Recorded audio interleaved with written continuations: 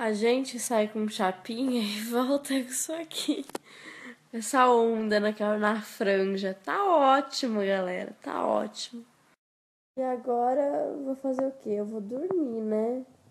Porque, meu Deus do céu, hoje a noite foi osso. Fiquei sabendo de informações de fontes confiáveis. E olha, o negócio tá um babado, viu? Tá babado. Mas tá ótimo, gente. Vamos dormir. Entendeu? Que hoje já foi o limite da noite. E até a próxima. Adivinha só se eu já dormi? Não, ainda não dormi. Eu tô com essa cara morta, mas ainda não fui dormir, gente. Nossa senhora, como é difícil ser eu, já dizia a minha Colute. Olha, vou te contar.